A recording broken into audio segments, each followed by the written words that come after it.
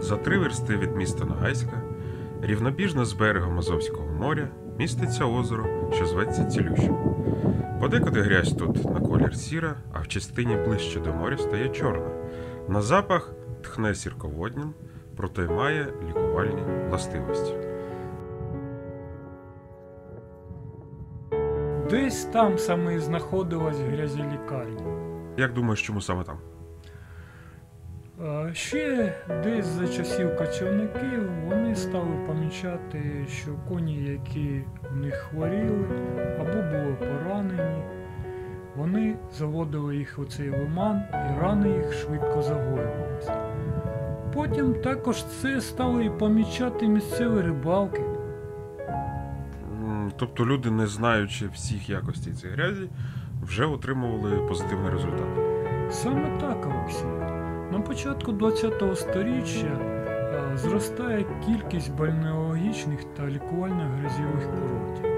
Одних з них саме з'являється неподаліку Ногайська, збудований завдяки доктору Лін... Вінкеру у 1908 році. Угу. Тобто зароджується таке собі місто курорт Ногайська. Ну, не зовсім, бо грязілікарня знаходилась, на жаль, далеко від міста, і дістатись туди було лише е, вийнявши візника. Е, знову ж таки, через велику відстань це коштувало чимало. Окремо того була незначна кількість е, пацієнтів, що готово було сплатити саме за лікування. Ну, ти знаєш, десь мені нагадує сьогодення. Так само хочуть задешево десь лікуватися і відпочивати, ну і оплатити не готові. А скажи, а як щодо місцевої влади того часу? Вони якось е, сприяли розвитку? Міська управа завжди мріяла про проведення залізничної колії до Ногайська, щоб посприяла б розвитку не тільки міста, але і збільшила б кількість бажаючих оздоровитися. Олександрівське земство, наприклад, виділяло кошти для лікування пацієнтів, які е, саме оздоровлювалися за його рахунок. Ну і сам доктор Вінклер е, завжди намагався популяризації свого закладу е, і розміщував для цього оголошення в газетах поза межами Таврійської губернії. Ну, тобто, в принципі, можна сказати, що справи йшли собі так непогано. Ну, а в принципі, як саме лікування відбувалося? Грязі діставали з дна ліману, зачерпуючи спеціальним ковшем, і човном їх відвозили до корпусу лікарні.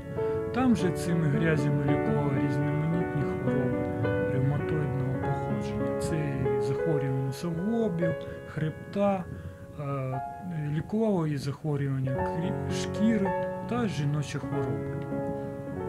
Щось так все красиво е, виглядає, і виникає відчуття, що це все діло тривало недовго. Так, але ж, на жаль, всього цього було замало, щоб забезпечити прибуток. І саме з цим пов'язана одна таємнича історія, яка має деякі підтвердження. Власник власноруч влаштував підпал в лікарні з метою отримання страховки, і після цього зник. І невже на цьому історія ну, цілющого озера завершується? Ні. Після ліквідування лікарні місцеві все одно продовжували використовувати грязі для власних потреб. І вже пізніше, в повоєнні часи, справу відродили за керівництво лікаря Фінарьова. Спочатку при місцевій лікарні було відкрите відділення грязелікування, а пізніше було збудовано навіть новий окремий корпус. Так відродилась слава про чорне золото Нагайська, цілющі грязі з ламану.